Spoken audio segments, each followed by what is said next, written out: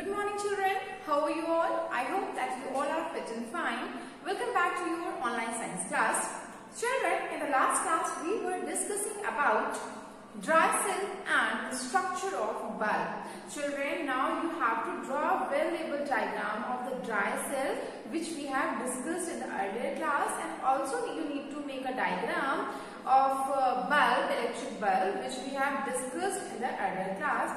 But today we are going to discuss another topic that is electric circuit. Okay. Children as we know that when we attach electric bulb to the electric uh, cell or dry cell with the help of wire then it glows.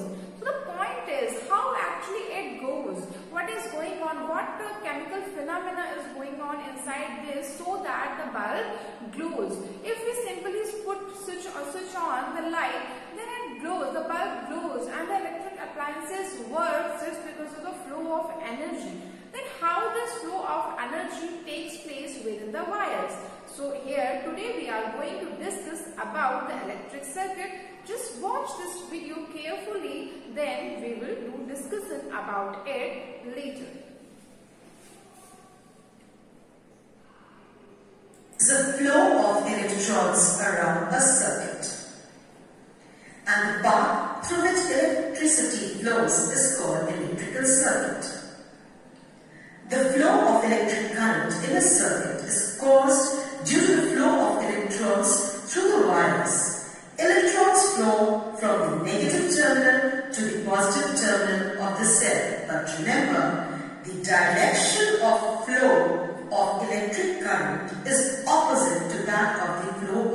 electrons. That is, so children, here in this video you have seen what is electric circuit.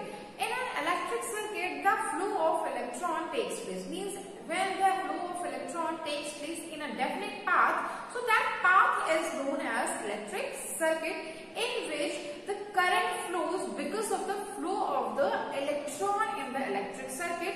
In this diagram, you can see that this is the positive terminal, this is the negative terminal, while it is a bulb and this one is switch. Okay? then this is the path in which electrons flows. So children, when we switch on the circuit, means when the circuit is completely closed, means if there is no break between the battery and the bulb. Children, you can see here that this is the battery which have positive and negative terminal which is attached with the bulb with the help of wire and here is a switch. So if we want to switch on, switch on means the circuit, the circuit will be closed. Means there will be no break in between the wire or battery or the bulb. Right? But when this uh, uh, circuit is open, here you can see there is a break between two wires.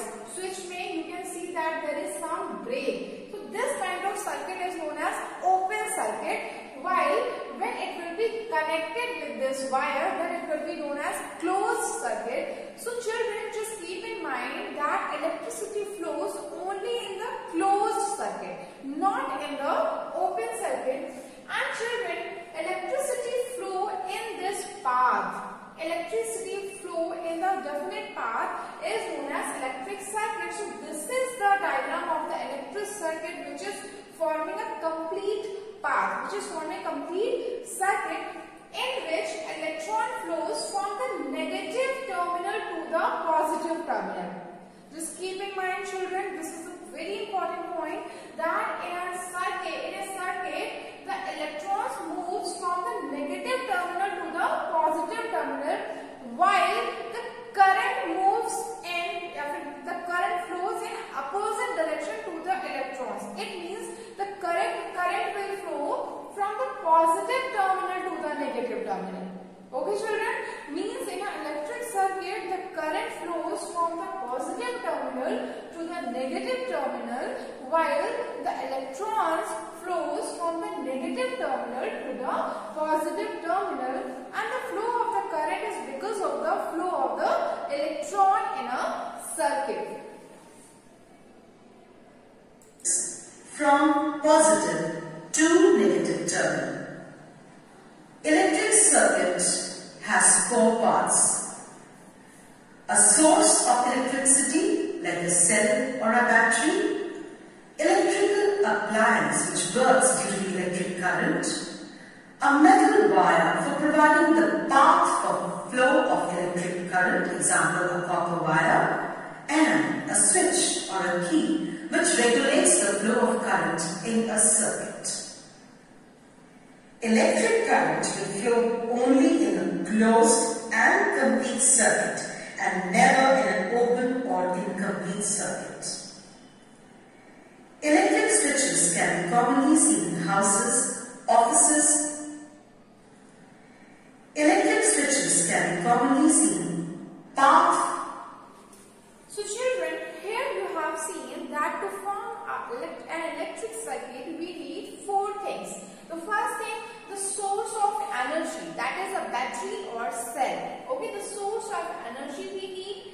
The electric appliance, it may be a bulb, it may be a TV, anything, whatever you want to grow. Okay? So, there will be electric, there, here we have taken an as an electric appliance metallic wire because we know that metal is a good conductor of electricity so the wire in which electrons can flow, flow in which the electricity can flow and the switch by which we can regulate the flow of the electron by which we can regulate the flow of the current in a circuit. So this is the switch by which we can switch on or off means we can control the flow of electricity in a circuit so this is the structure which we have seen that to form an electric circuit we need four things that is one battery, one electric appliance that is bulb, wire and the switch.